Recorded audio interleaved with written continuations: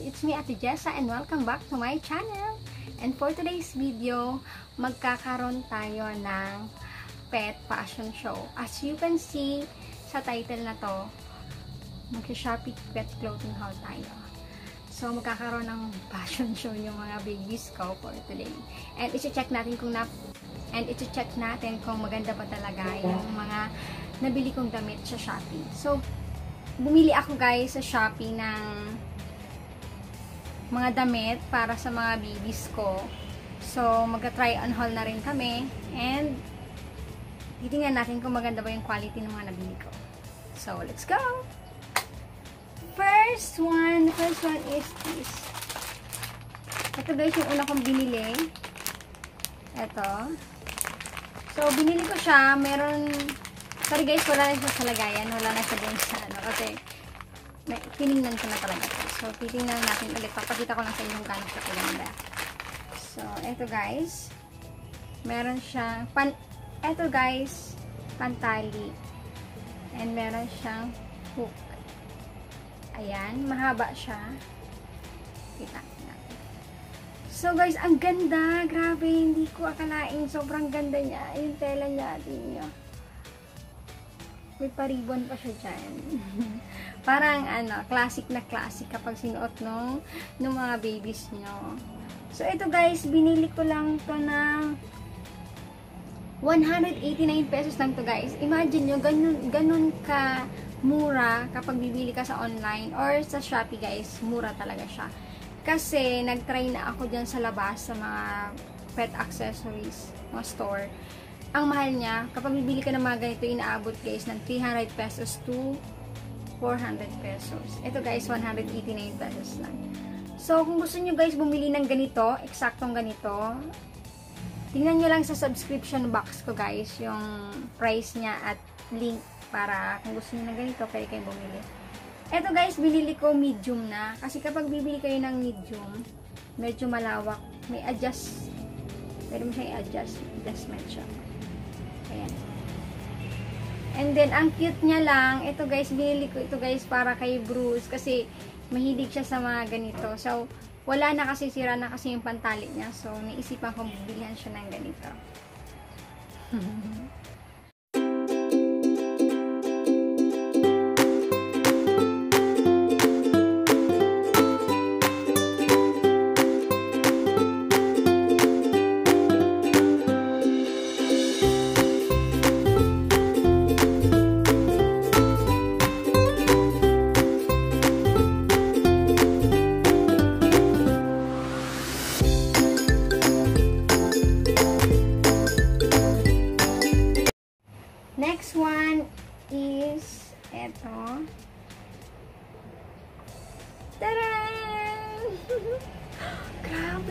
ganda niya. Hindi ko ina-expect na ganito kaganda to. Ayan oh. Eto guys, 115 pesos lang. Imagine nyo, 115 pesos pero ganito nakaganda yung damit ng PBs nyo. And guys, yung sa likod, So, natatanggal siya. Botones. Para siyang ganito o oh, botones. Hindi siya actually botones, pero ganito yung yung lock niya. Ayan. Tatanggalin niyo lang yung tatlo. And then, ganito na. So, pag isusuot niyo sa babies niyo, madali lang siyang isuot. Tsaka comfortable suotin. Yung tela niya, guys, ang ganda. Ang ganda ng pakamaong. And then, may paribon pa siya dito. And meron, tawag nito. Ayan, guys. Oh, ganda. And then, ito, ang bongga! Binili ko to guys para kay Yasi. Kasi si Yasi yung una kong aso na babae. Tingin ko lang kasi maganda sa kanya. Kasi white yung color ng, ng balahibo niya. So, bagay sa kanya yung mga colored na damit. So, ayan guys. 115 pesos lang to guys. Check nyo sa Shopee. Ayan.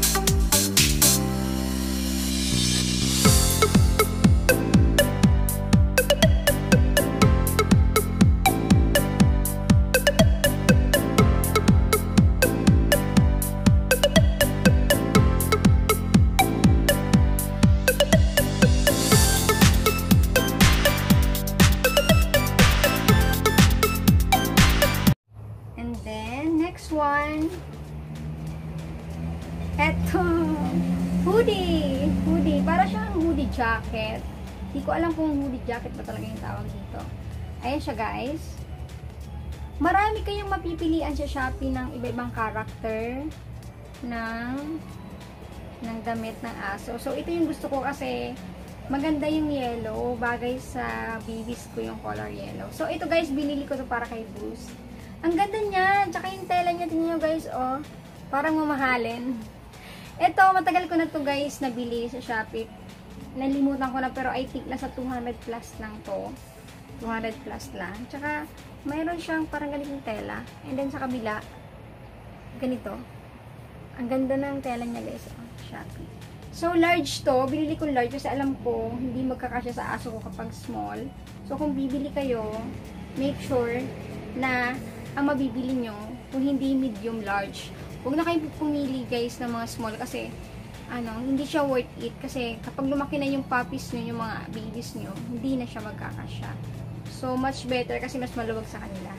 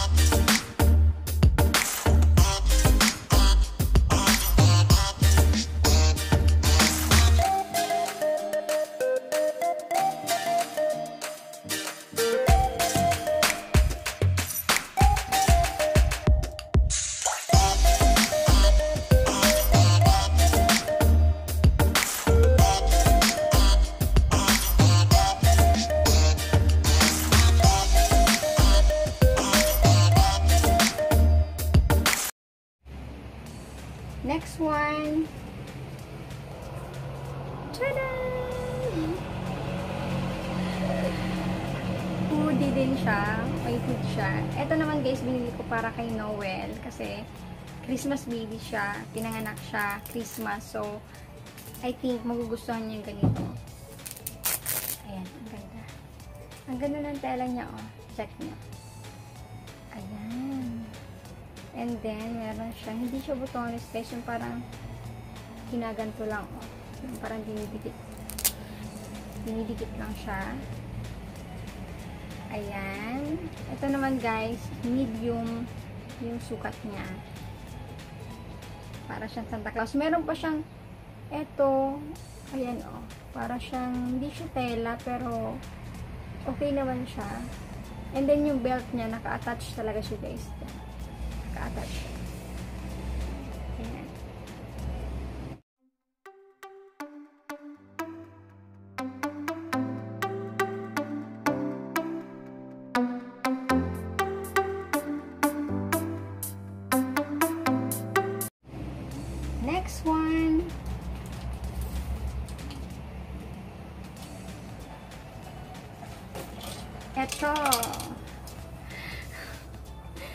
Guys, medyo naguluhan ako kung paano to gamitin. Pero nakita ko na to. Makikita nyo sa sa screen yung ano, makikita nyo dito yung itsura niya talaga sa Shopee. And nagandahan ko siya. Feeling ko bagay siya kay Nixie. Yung kumakanta akong baby. Ayan guys. Pag sinuot niya siya, ayan, sa harapan nyo lang siya guys susot ha. Wag, hindi siya sa buong katawan. Sa harapan lang. So, ayan. Para siyang short. Para siyang short. And then, may garter siya dito. Ayan, wait lang. May garter siya dito. Ayan. oh. And then, ito naman, sa likod, parang i-attach mo lang ito sa liig niya. Para, ayan, i-attach nyo yan ganyan sa liig, sa likod. And then, ito yung harap niya. Ayan. Ito yung harap niya, guys. Ang cute niya. Nag-try lang ako bumili nito. At ito, guys, ang price nito ay 325. So, medyo may kamahalan siya. Pero yung tingnan ko siya dyan sa labas, nasa 570 to 600 pesos siya. Ang bibili niya. So, ito guys, 370, 325? 325 na siya guys. Ito, totoong gitara. Nilaruan talagang gitara. Ayan. And ito, naka-attach talaga siya dyan. Ang cute. Ang ganda ng tela, oh.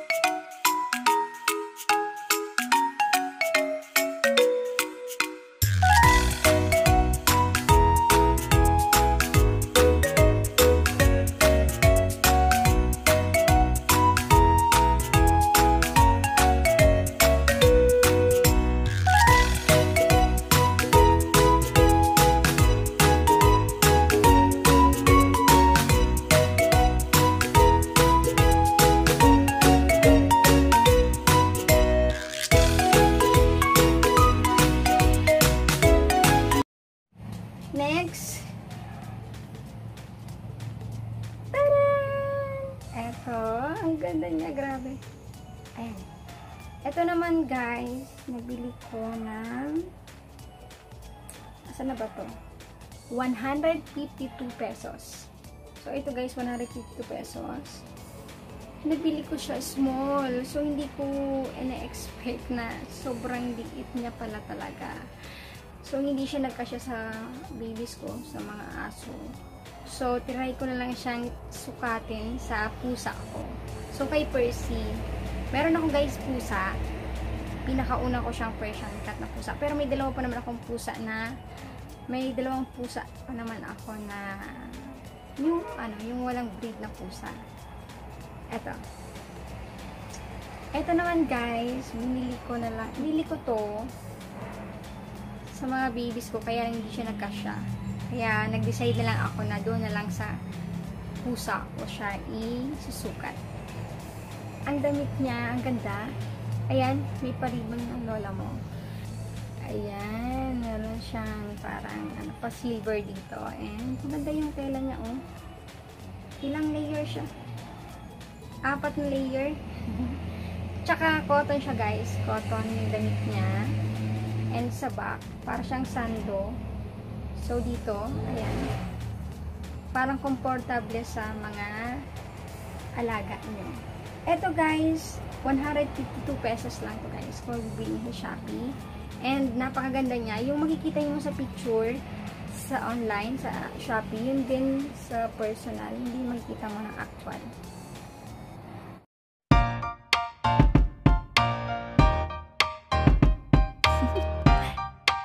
Do you want to know?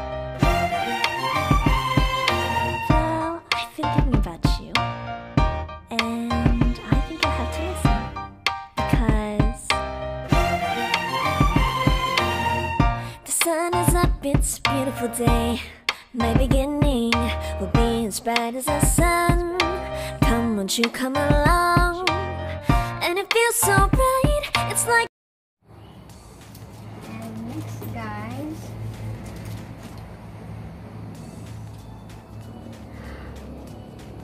Ito. Mm. Grabe, sobrang ganda niya. Ang ganda ng detail niya, oh. Yung detail niya parang parang ano basta maganda siya. And then, meron siyang pabulaklak dito. And sa likod, kung mapapansin nyo guys, may garter siya. Yung isa, eto guys, wala siyang garter. Ayan oh, wala siyang garter sa likod. Ito meron para mas mag-fit sa mga babies nyo. Ito guys, dahil hindi rin naman nagkasya to sa sa mga babies ko, eh, pinasukat ko na lang to sa pusa ko. So, makikita nyo guys, sobrang cute. Bagay na bagay kay Percy. Ayan. Ito naman guys, 120 pesos lang. Imagine nyo, sa labas, kung bibili kayo dyan sa labas, nasa 300 to 500 pesos yung mga damit ng aso. So, kung gusto nyo guys, eto, ang ganda rin ito. Yung tela niya, maganda rin. Pero para siyang, para siyang cotton na pagka see-through kasi makikita mo yung, ano,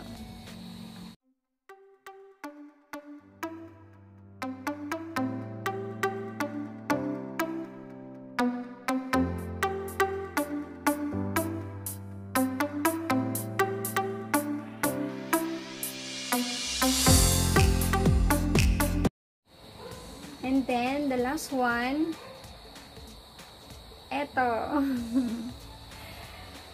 eto. Kung nakita nyo na to dun sa una kong, sa mga video ko, sa mga puppies. Yung una kong video. Hindi pala yung una, yung unang video ng mga, ng mga, ng mga dogs ko. Ito yung damit niya. Ngayon kasi guys, hindi na kasya. Nasa 130 ko to nabili sa Shopee di yun siya kasya sa mga doggy-doggy ko. So, pinasukat ko na lang siya sa pusa ko. Eto. Cotton siya, guys. O, cotton siya. And maganda siya. May nakalagay, I love my mommy. Marami din kayo pilian guys, na iba-ibang klase ng nakasulat. Merong I love my mommy, merong I love my daddy, tsaka marami pang iba. Maraming iba-ibang color. So, kayo bahala yung pumili.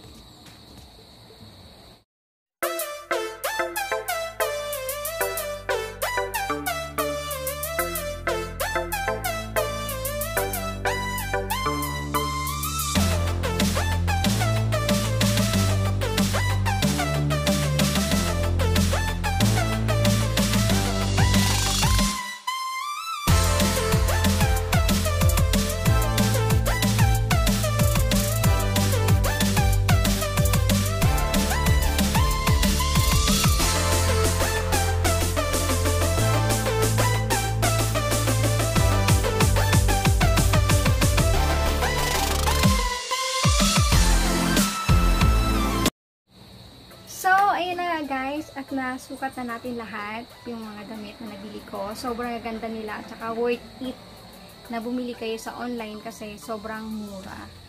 Kasi guys, sa labas, na-try ko lang bumili sa labas ng, ng mga damit ng aso. Sobrang mahal. Kumbaga, mas mahal pa siya sa damit na binibili natin kaysa sa... Oo, mas mahal pa siya sa mga damit na binibili natin. So, kung gusto niyo bumili ng mga... At balak niyo bumili ng mga ng mga damit para sa mga babies nyo, pumunta lang kayo. Check nyo yung Shopee or Lazada sa online kasi mas mura. For sure, mas mura sa kanila guys. Yung shipping fee naman, affordable naman kasi minsan yung shipping fee is 50 pesos lang naman yung pinapataw nila. At hindi naman sa 75 pesos, ganon. Pero kung bibili kayo, maganda, sa isang seller lang para yung discount nyo, ano lang. And kung gusto nyo guys bumili ng mga ganong damit na nakita nyo sa video na to, check the subscription box below para makita nyo yung mga prices at yung mga seller na pinagbilan ko. Sana nagustuhan nyo ang videos na to at kung nagustuhan nyo man, please like and subscribe and and don't forget to click that notification bell para lagi kayong updated sa mga susunod ko videos. And that's all for today's guys. Bye!